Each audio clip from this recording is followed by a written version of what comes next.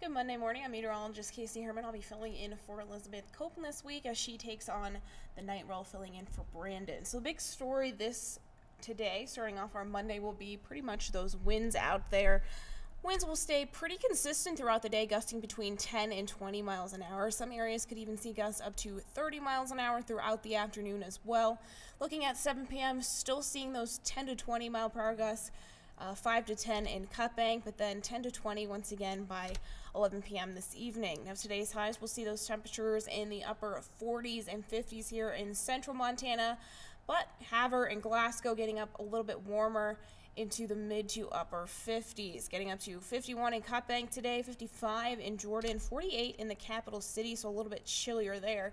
Future track, we are going to see continuance of showers today as we look at uh, the next coming hours. Possibly some of these showers will even make their way into central Montana. We are seeing here 11 a.m. some showers near the capital city. Most of these showers, though, best chance will be later on this afternoon and evening. We're going to see spotty showers continuing here throughout the later hours and into tonight.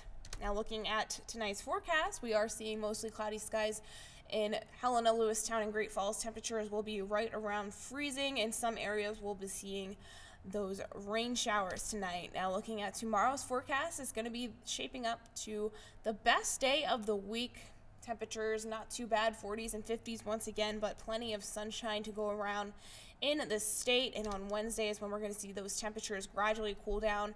Highs back into the 40s pretty much just about everywhere or the lower 50s. That's when we're going to see rain back into the forecast as well. Precipitation chances here for central Montana. Obviously possible today.